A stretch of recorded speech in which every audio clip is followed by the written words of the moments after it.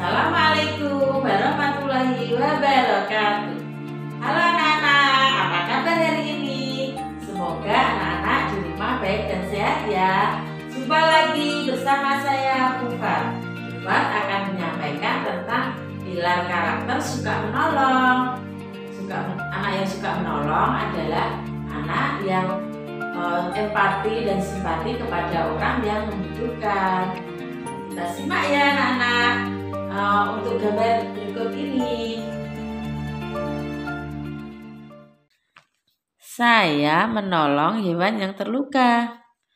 Apa yang sedang dilakukan temanmu pada gambar ini? Ya, betul. Pada gambar tersebut ada anak laki-laki yang sedang menolong burung. Burung tersebut terluka kakinya. Akhirnya, anak tersebut mengobati dengan obat-obatan. Untuk yang gambar yang satunya, ada anak perempuan yang sedang membawa anjing ke dokter hewan karena anjing tersebut luka. Akhirnya dibawa ke dokter hewan. Kita lihat gambar selanjutnya. Saya memberi makan hewan peliharaan. Ya, dalam gambar tersebut ada anak perempuan yang telah memberi makan binatang kucing ketika kucing itu merasa lapar. Jadi, anak-anak di rumah kalau punya hewan peliharaan sebaiknya dikasih makan ya. Contohnya hewan kucing tadi ya.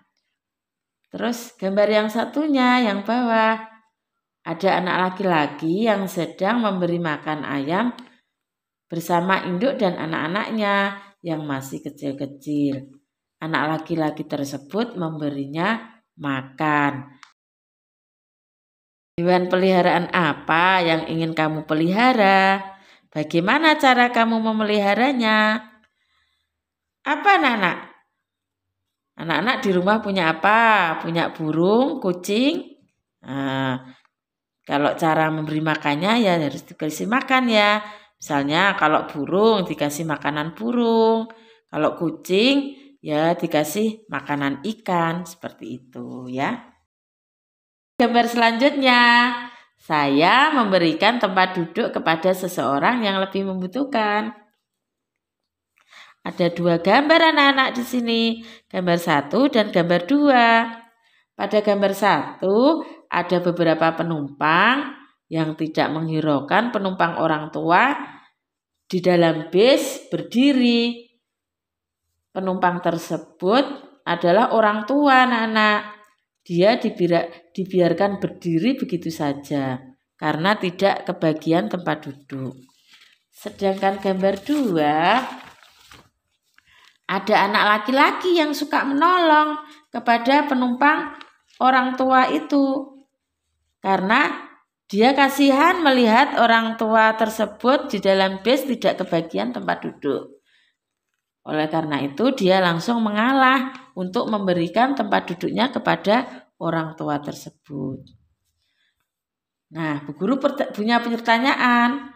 Kamu sedang duduk di dalam bis umum, tetapi ada wanita tua yang tidak mendapatkan tempat duduk. Apa yang kamu lakukan? Ya, tentunya anak-anak harus mengalah ya.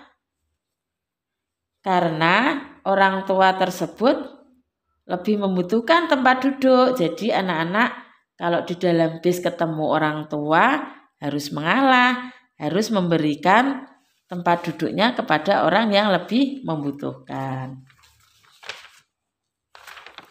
Kita lihat gambar selanjutnya. Manakah yang lebih membutuhkan tempat duduk? Yang pertama, anak yang lebih membutuhkan yaitu dengan keterbatasan penglihatan dan tangannya. Itu lebih membutuhkan tempat duduk. Terus ada yang lebih membutuhkan juga yaitu dengan keterbatasan kakinya dan kakek tua atau ibu yang sedang menggendong anak kecil itu juga lebih membutuhkan tempat duduk saat di dalam bis umum. Ibu hamil juga sangat membutuhkan anak-anak karena ibu hamil itu kasihan ya kalau berdiri di dalam bis. Nah, itu lebih membutuhkan tempat tempat duduk. Bu guru punya pertanyaan, mengapa wanita hamil perlu diutamakan untuk mendapatkan tempat duduk di kendaraan umum? Ya, betul karena wanita hamil sangat memerlukan pertolongan. Misalnya kalau berdiri terus eh, kasihan ya ibu hamil pasti akan capek kalau tidak duduk. Jadi lebih membutuhkan tempat duduk.